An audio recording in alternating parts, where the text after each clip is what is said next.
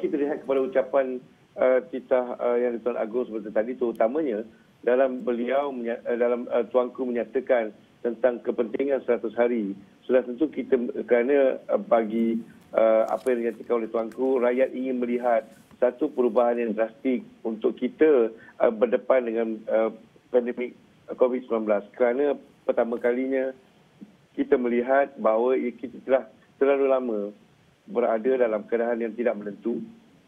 Sudah hampir dua tahun, keadaan ekonomi, sosial dan politik yang tidak uh, boleh dikatakan uh, tidak pernah dialami dalam sejarah negara kita. Jadi uh, seperti dijanjikan oleh Perdana Menteri uh, ya, uh, dan uh, Datuk, uh, Datuk Seri Ismail Sabri bahawa satu hari ini penting untuk uh, kerajaan beliau menetapkan satu tanda aras baru membawa bukan sahaja kita keluar daripada uh, permasalahan uh, COVID, pandemik COVID-19 tetapi meletakkan kembali keyakinan uh, rakyat secara keseluruhan meletakkan kembali landasan ekonomi kita di tempat yang betul. Jadi dengan ini saya kira kerajaan seharusnya lebih uh, telus uh, transparan dalam menyatakan kepada rakyat apakah yang seharusnya rakyat uh, perlukan dambakan hmm. dalam konteks 100 hari ini supaya kita boleh bersama-sama bekerjasama menuju ke arah tersebut seperti yang dititahkan oleh uh, Dunia Mahal daripada kebaginda yang Tuan Agus seperti tadi. Uh, Dr. Hamidin, uh, antara apabila uh, penutup kata antara perkara yang dititahkan oleh Yang di-Tuan Agong adalah jika saya boleh petik uh, apa yang dititahkan tersebut, jangan sama sekali meletakkan masa depan negara dan rakyat beta sebagai taruhan dalam percaturan untuk mencapai agenda tertentu.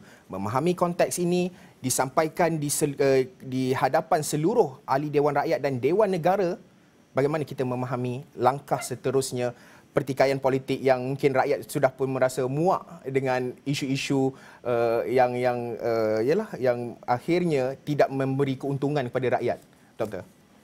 Sudah tentu kalau kita lihat ya Haris ini merupakan sesuatu yang sangat diinginkan oleh rakyat dan telah dititahkan oleh baginda tuanku supaya ahli parlimen memberikan keutamaan kepada kepentingan negara.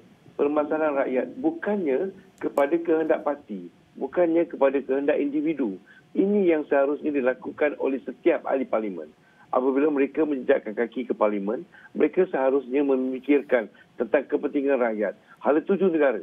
Bukannya tentang kelangsungan parti mereka, kedudukan mereka, kedudukan ketua-ketua mereka. Jadi dalam konteks inilah saya kira ia merupakan satu teguran yang amat baik yang dilakukan oleh tuanku dan ini menepati cita rasa rakyat pada masa yang sama. Seperti Haris katakan tadi, sudah hampir dua tahun rakyat uh, saya kira merasakan bahawa keterlaluan apa yang berlaku dan diamalkan oleh ahli politik di Malaysia ini oh, terlalu mementingkan diri mereka tanpa mengira tentang kepentingan dan hak rakyat untuk mendapatkan sesuatu yang lebih baik daripada wakil rakyat mereka.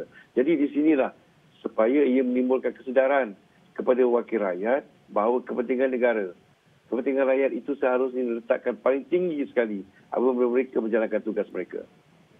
Eh, Dr. Hamidin, soalan akhir saya secara ringkas uh, memetik apa yang dikatakan yang dititahkan oleh Yang di-Pertuan Agong menyeru kepada ahli yang berhormat dan semua agensi kerajaan yang berkaitan untuk bertindak proaktif dengan turun padang meninjau dan menyelami isu rakyat dari dekat serta memantau pencapaian program-program yang telah diumumkan.